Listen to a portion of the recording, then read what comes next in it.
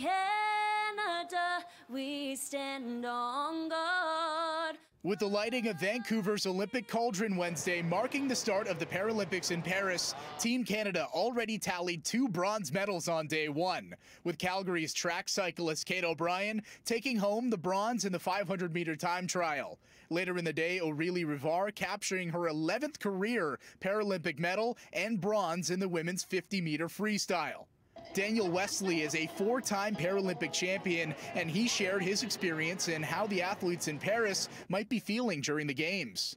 When I was competing, what I would do is I would um, carry around on my shoulders the weight of the country because I wanted to uh, show the world what Canada was made of, and uh, and that's what the athletes have here in Paris is the opportunity to uh, to show the world what we're made of.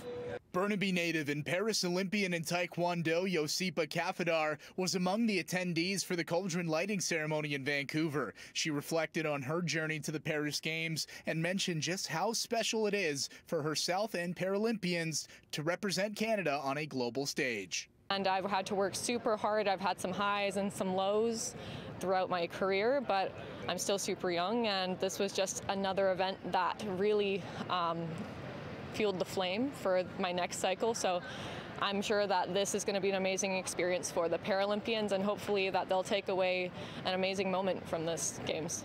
During Wednesday's Cauldron lighting ceremony, there was also a look ahead to the Invictus Games being held in Vancouver and Whistler in February of next year. It will see around 550 wounded and injured veterans from 22 nations compete in 11 different sports.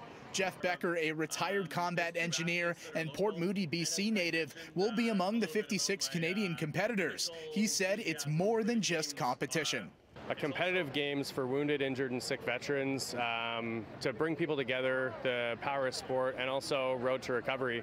And as I've been learning now as part of the team, um, it, it can also be a beginning instead of an end. Um, I've experienced a lot of positive impacts already, and the games are still five months out. The Invictus Games kick off February the 8th in 2025. In Vancouver, Joe Sadowski, City News.